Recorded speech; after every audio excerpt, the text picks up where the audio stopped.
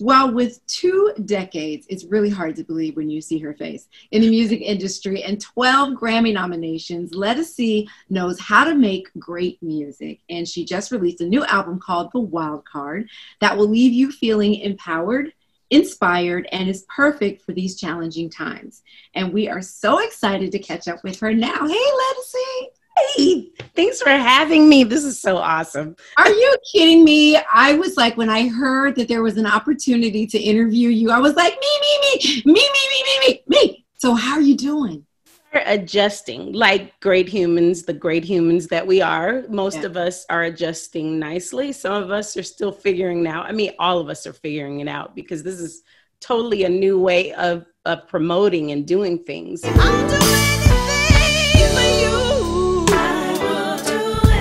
Well, we talked about the album.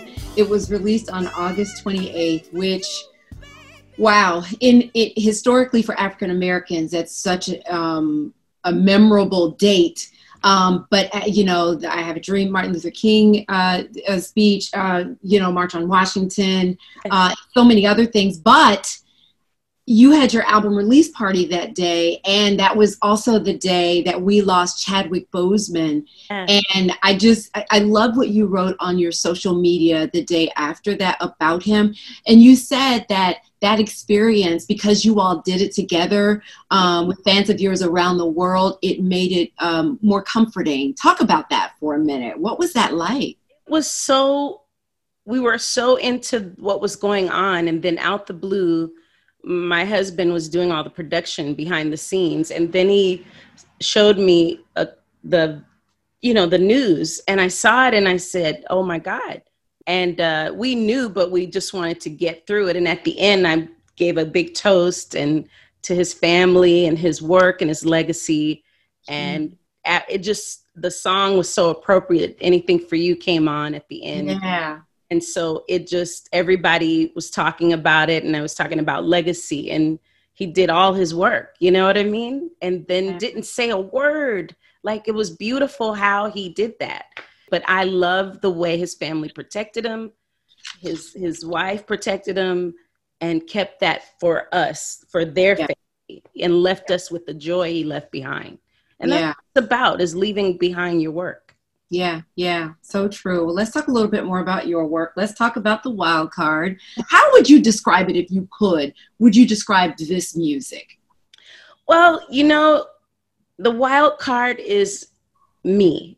I am a just a so many things in one genre of music. It's all these beautiful, beautiful things in soul music. I go from modern to 90s to 70s to a good old pop song at the end that surprises you. So yeah. um, I just love I I'm showcasing songwriting and showcasing my version of soul music. And you're doing it independently now?